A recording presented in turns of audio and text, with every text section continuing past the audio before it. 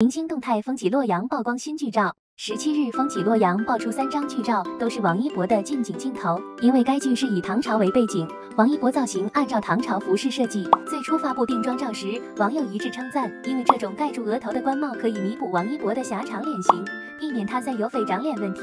可是当镜头对脸拍时，就会暴露另一问题：鼻型突兀。王一博鼻梁高挺，鼻头圆润，本来没有问题，只是脸部轮廓过平，搭配一起就被鼻子抢戏了。难怪网友调侃鼻子上面长着脸。当然，颜值不是一切，如果演技过硬，便可转化为魅力加分项。而且该剧还有实力派黄轩，颜值担当宋茜、宋轶加盟，相信看点十足啊！不知网友是否期待呢？